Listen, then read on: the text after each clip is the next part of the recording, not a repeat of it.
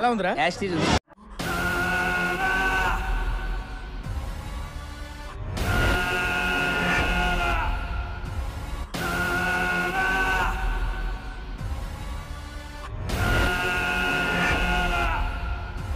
ఒరేయ్, నువ్వు వేసే యాశాలకి చేసే పళ్ళకైనా సంబంధం ఉందేంట్రా?